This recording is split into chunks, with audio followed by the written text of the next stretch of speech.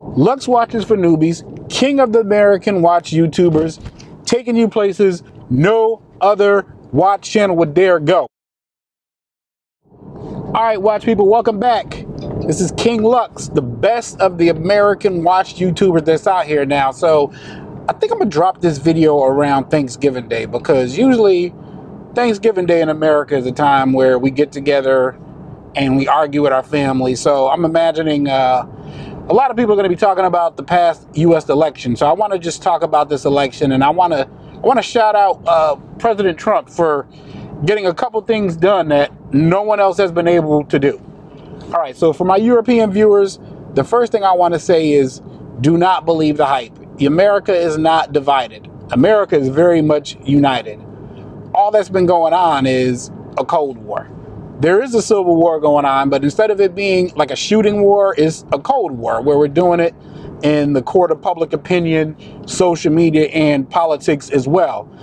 I think I missed it at first just because, as a person of color in America, I'm kind of used to psychological warfare and white supremacy and institutional racism being waged on us that I didn't even realize that the white folks were fighting each other, which is something different. But now I see it clearly. But with that being said, we are united because if we treat each other like that, imagine what it is we'll do to somebody who tries to come over here and invade. It's like, y'all don't stand a chance. So Russia, China, whatever, hey, start something if you want to. People are primed and they're looking for somebody to take it out at. So we are united in America.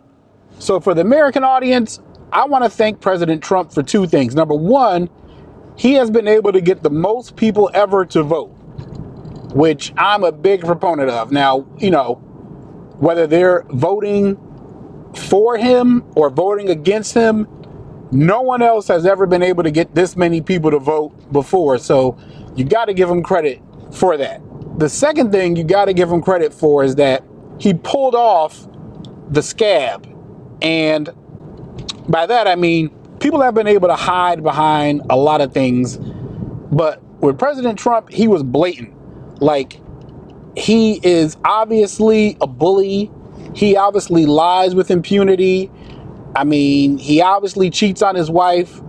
All these things that were previously considered moral failures, you know, now it's kind of like he's been so open about it that he made it so that people had to publicly show what side they're on. So for me, President Trump has made it obvious that white supremacy and uh, racist and stuff like that, he's not necessarily completely against them. Yeah, he'll he'll make lip service and, and say that, but you could just tell by the way he hesitates and you know goes back and forth that is really just not in his heart which is cool. I mean, hey, as an American, that's his right. You got a right to believe whatever it is you want to be. If I want to be a black supremacist, that's my right as an American.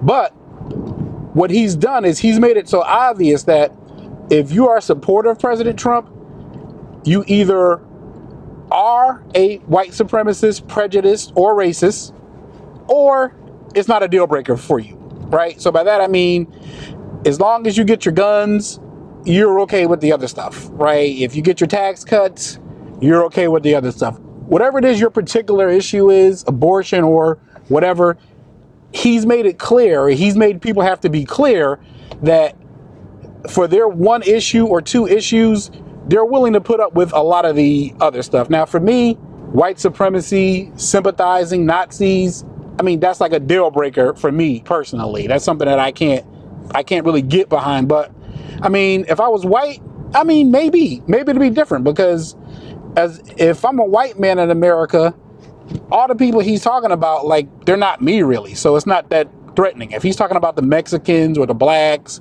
or the Muslims, and I'm neither of those, I mean, I can see how it wouldn't be helpful, but it's not really gonna be a deal breaker if I get like, you know, three, four thousand back on my taxes. So from that perspective, I understand that group.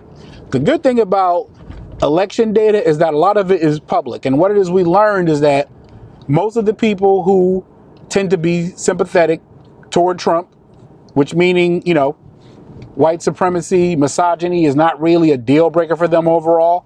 They tend to be white men who live in rural areas, whereas people who are, I guess, more liberal tend to live in the city. So now you know exactly where the people are, which is useful because this has been a long term thing in America. We've been hiding and hiding and not dealing with issues, but now we know exactly where the people are and we know what their stands are, so we can finally maybe get this thing out in the open. And I'm okay with that because I don't want my son to be dealing with these same things that we've been dealing with since like the Ronald Reagan era. So, so yeah, in closing, I just want to say thank you, President Trump, for bringing the most people ever out to vote.